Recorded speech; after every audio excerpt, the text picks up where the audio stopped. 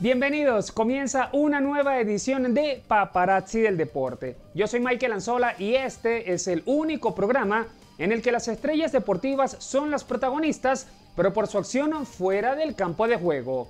Hoy venimos cargados con actualidad extradeportiva, con novedades para el fútbol nacional que forman parte de la propuesta de la Gran Federación Venezolana de Fútbol que encabeza Tony Carrasco. También eh, seguimos hablando de las tribulaciones que aquejan a la FIFA. Les dejo un adelanto de todo lo que tenemos preparado para hoy en este sumario. Hoy en Paparazzi del Deporte, conozca los objetivos de la Gran Federación Venezolana de Fútbol. Una vez más, la FIFA al banquillo de los acusados. Vacaciones o suspensión. Y la NFL quiere el monopolio de las redes.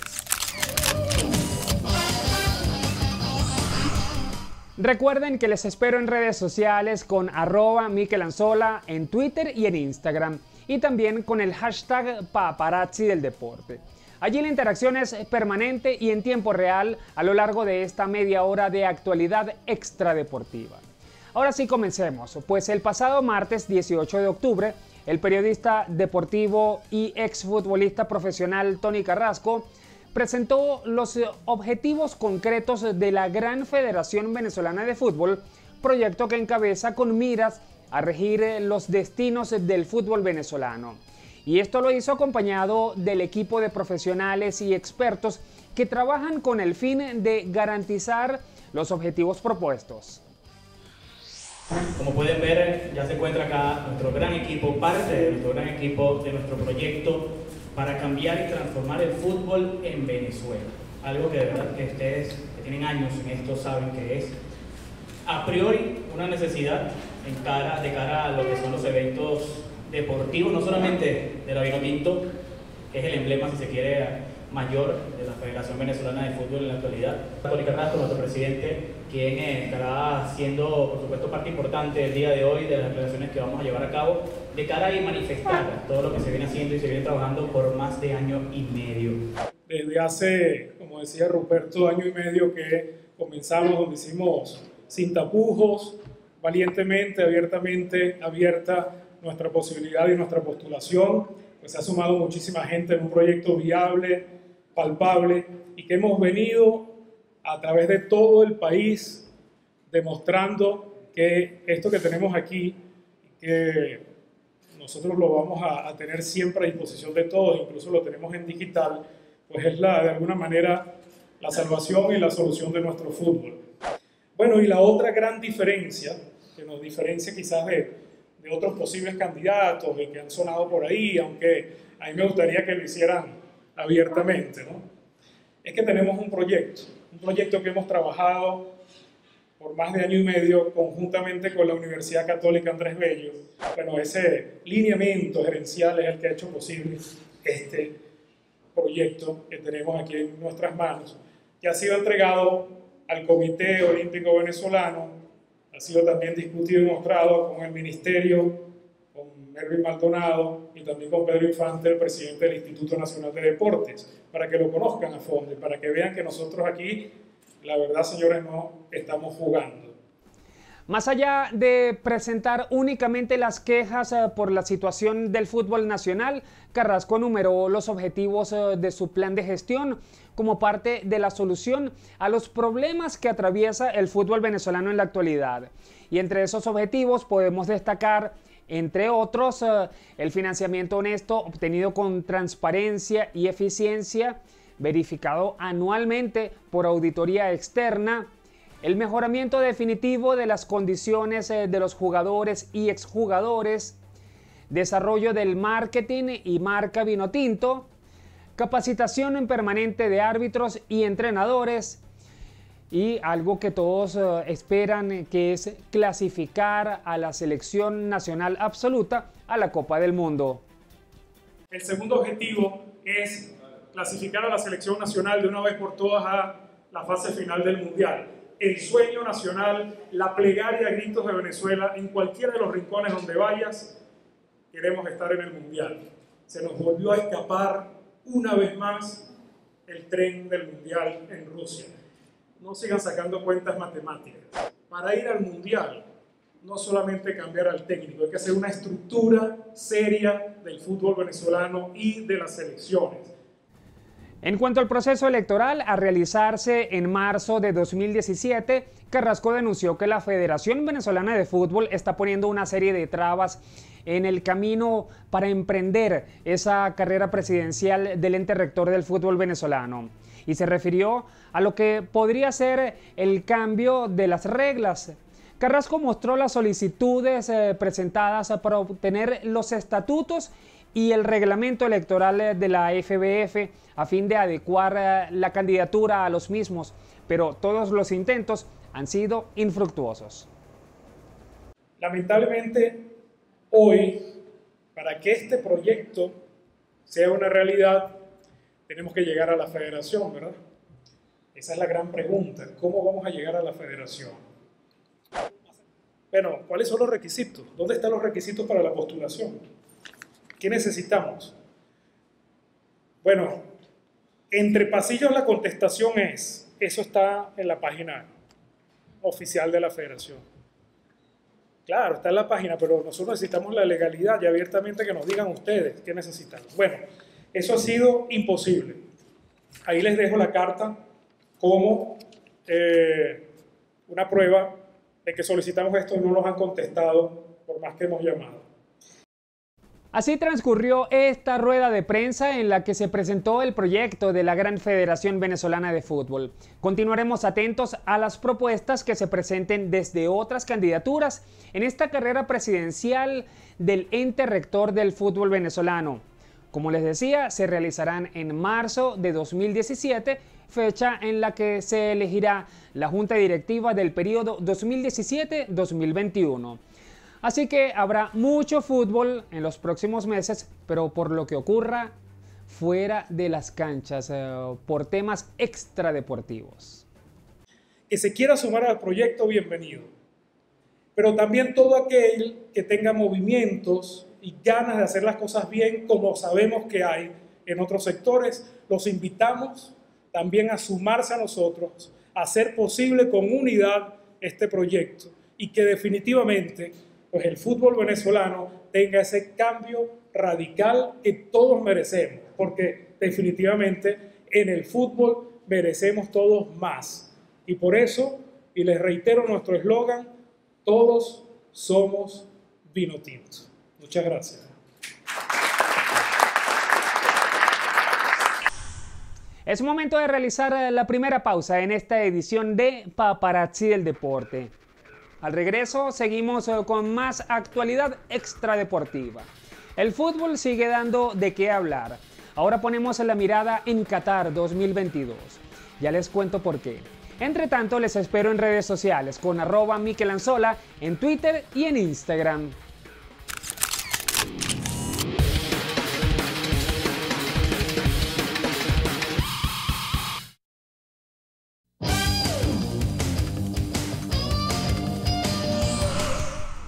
Estamos de vuelta en esta edición de Paparazzi el Deporte. Continuamos con más actualidad extradeportiva. Seguimos con el fútbol y no precisamente con las fechas eh, de las eliminatorias de Rusia 2018 que tuvieron lugar en días recientes. De ello hablaremos más adelante. Nos saltamos un mundial, avanzamos hasta 2022 porque se conoció hace poco que la Federación eh, Neerlandesa de Sindicatos presentó una demanda contra la FIFA por presunta explotación laboral de trabajadores inmigrantes en la construcción de las instalaciones eh, que acogerán el Mundial de Qatar. La asociación sindical junto con un empleado de Bangladesh ha planteado el caso ante los tribunales suizos en torno a lo que varias organizaciones defensoras de los derechos humanos han calificado de esclavitud moderna. Así califican eh, las condiciones de los más de 5.000 trabajadores inmigrantes encargados de la construcción de los estadios y de las principales obras para el Mundial de 2022.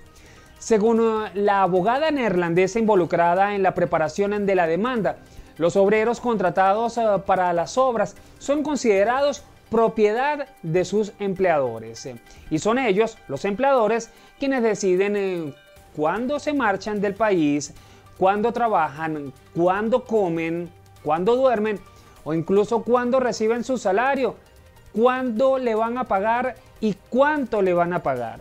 Todo esto está amparado bajo el sistema laboral conocido como kafala, según el cual a los trabajadores extranjeros en Qatar se les exige el permiso de sus empleadores para cambiar de empleo o abandonar el país, entre otras regulaciones.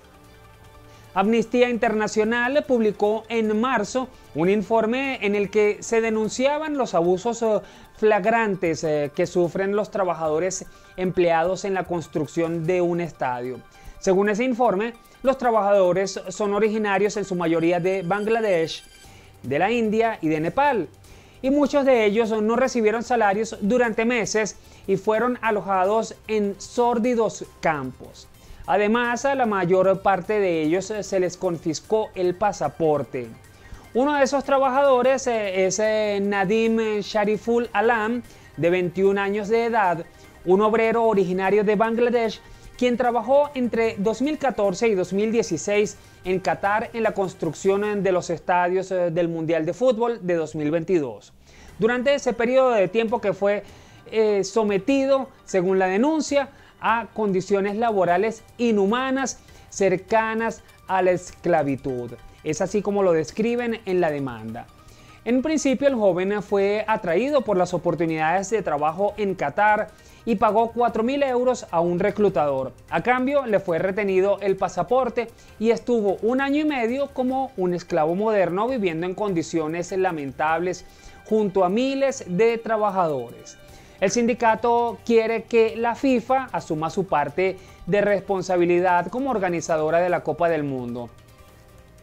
La FIFA aún no ha reaccionado a la presentación de la demanda, aunque en el pasado ya han negado la posibilidad de que asuman responsabilidades eh, sobre las condiciones laborales y de vida de las obras de los campeonatos mundiales. En 2013 y después eh, de que organizaciones humanitarias eh, como Amnistía Internacional denunciaran la muerte de centenares de trabajadores, el propio gobierno catarí investigó la situación eh, y el resultado arrojaba pruebas eh, de decenas eh, de accidentes entre los obreros contratados con vistas al Mundial. Este es solo otro de los escándalos que tiene que enfrentar la FIFA, ya muy tocada por la corrupción y con muchos de sus exdirectivos encarcelados. Con este proceso, los sindicatos pretenden presionar a la FIFA, que tiene tres semanas para reaccionar tiempo después del cual se iniciaría un proceso en un tribunal de Zurich, ciudad en la que tiene sede, como saben, el ente rector del fútbol mundial. Bueno, la FIFA confirmó que recibió una carta, pero agregó que no fue notificada por ningún tribunal acerca del reclamo o demanda. Y cambiamos de tema para hablar ahora sí de las eliminatorias de Rusia 2018, pero muy brevemente. Una nota curiosa y lamentable también para los defensores de los animales. Pues eh, la selección de Irak ve cada vez más lejana la posibilidad de conseguir un pasaje a la próxima Copa del Mundo de Rusia 2018. Entonces decidieron apelar a un ritual insólito para intentar ahuyentar a los malos resultados. Los iraquíes se perdieron uh, sus tres compromisos uh, por las eliminatorias de Asia ante Australia, Arabia Saudita y Japón y marchan de últimos en el grupo B junto a Tailandia. Por eso, y para revertir los resultados, la selección iraquí eh, decidió apelar a una vieja creencia y sacrificó una oveja para cortar uh, con la mala racha y empezar a sumar. La cadena de televisión catarí Alcas Television eh, señaló que algunos eh, elementos eh, del combinado optaron por sacrificar animales para terminar con esa mala suerte que les persigue. En redes sociales se difundió una fotografía en la que se aprecia el acto. Bueno, y menos mal que acá en Venezuela no tenemos esas creencias, sino imagínense, pobres ovejas, un rebaño al menos necesitaríamos en Venezuela.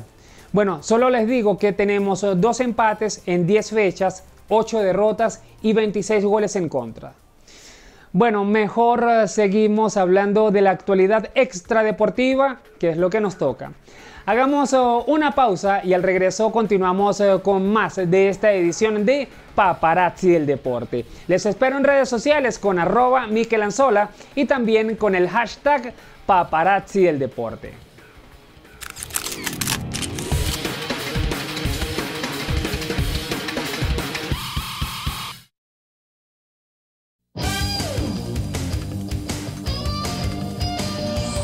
Estamos de vuelta en esta edición de Paparazzi del Deporte. Continuamos con más actualidad extradeportiva.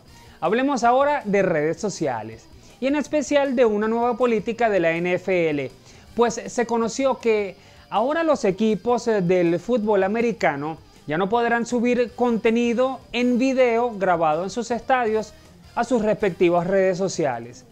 Esta nueva política también impedirá que los equipos generen GIFs de jugadas o contenido de las televisoras. Tampoco podrán usar Facebook Live, Periscope u otras aplicaciones eh, que permitan grabar desde las instalaciones. Todo lo anterior, toda esta especie de censura de parte de la NFL, eh, tiene el objetivo de que la NFL logre el control absoluto de todo lo que se desarrolla, todo el contenido que se genere en los estadios eh, de la NFL. Todo esto será entonces publicado por un solo canal, quieren llevar a toda la gente a las eh, plataformas oficiales del fútbol americano, de la NFL, que es la National Football League. En caso de que alguna franquicia infrinja sobre los nuevos lineamientos, las multas podrían variar desde los 25 mil hasta los 100 mil dólares. Eh, tiene todo un reto la NFL entonces al tratar de controlar todo el contenido que se genere en los estadios. Y quien no pudo controlar eh, una imagen suya o varias imágenes suyas eh, en la red fue el mariscal de campo Tom Brady. Seguimos todavía en la NFL, en el fútbol americano pues fue capturado hace varias semanas por un paparazzi tomando sol desnudo en Italia durante sus vacaciones junto a su esposa, la supermodelo Giselle Bunchden. Esas imágenes se esparcieron como pólvora por todo el mundo y a pesar de que el mundo entero vio esas imágenes, Tom Brady dijo en una entrevista que él no se enteró de eso hasta que regresó a Estados Unidos. Digamos que literalmente él se desprendió de todo. Cero ropas, cero estrés, cero teléfonos, cero eh, Twitter, cero Instagram, cero Facebook.